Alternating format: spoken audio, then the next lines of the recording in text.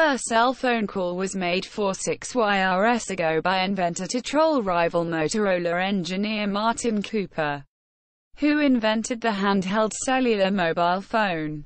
Made the first ever mobile phone call to brag about his achievement to his competitor Joel Engel of AT&T's Bell Laboratories on April 3, 1973. Martin called Joel before his press conference to test the prototype and said, I'm calling you from a cell phone.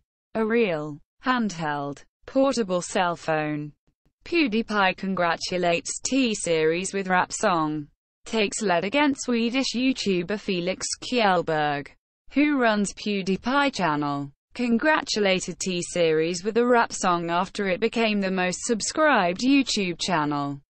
In the video, he pointed out T-Series managing director Bhushan Kumar was investigated for alleged tax evasion and also talked about India's poverty and caste system. Asya PewDiePie regained the lead soon after the video was published. Ban TikTok app. It spoiled future of youngsters.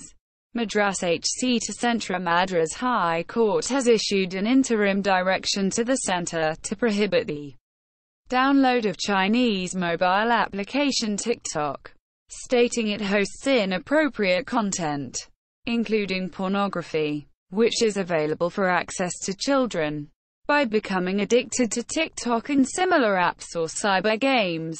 The future of the youngsters and mindset of the children are spoiled, the bench said.